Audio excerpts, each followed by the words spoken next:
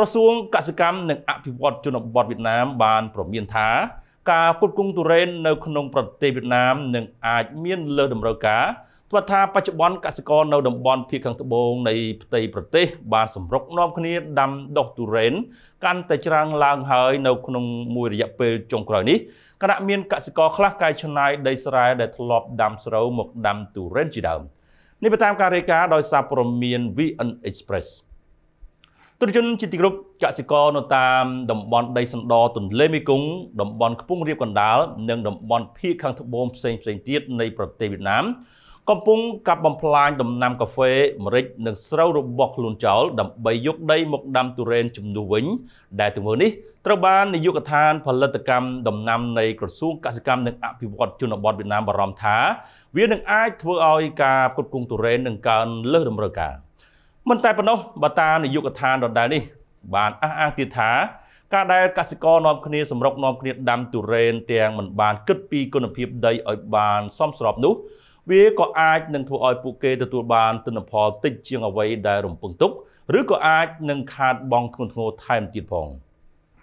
ក្រសួងកសិកម្មវៀតណាមបានបញ្ជាក់ទៀតថាអាជ្ញាធរមូលដ្ឋានត្រូវតែធ្វើផែនការទប់ទល់ទៅនឹងការបាត់បង់ដីស្រែ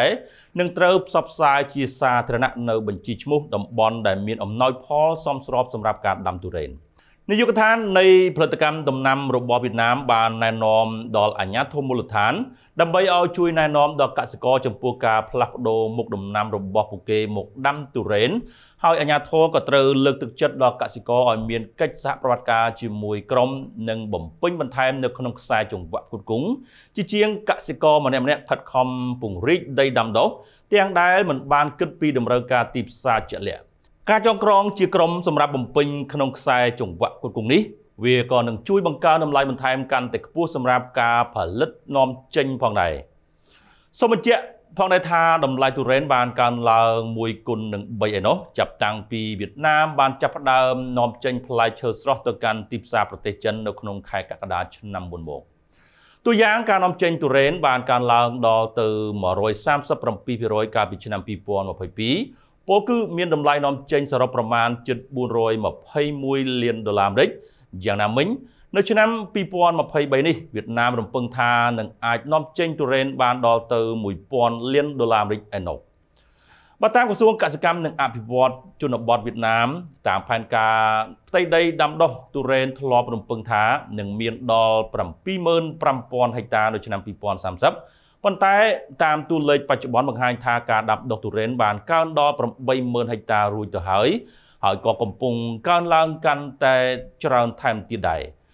ទោះយ៉ាងណានៅក្នុង